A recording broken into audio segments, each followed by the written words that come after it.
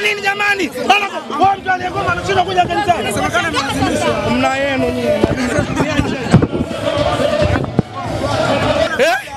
Ah, mimi mwanzo mwisho ni- nilikuwa nawachunguza mapapalazi na, na mimi nilikuwa nawapiga chabo, alikuwa naangalia ah, hii ni ya kwetu, alipo nipo, mkuu wake eh,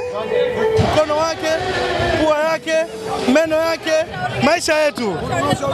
Namshauri nini tena mtu aishaoa? Mimi nataka usha, mimi nataka ushauri. Mimi nataka ushauri sasa. Aishaoa, mimi nataka ushauri. Sina ushauri, nataka ushauri.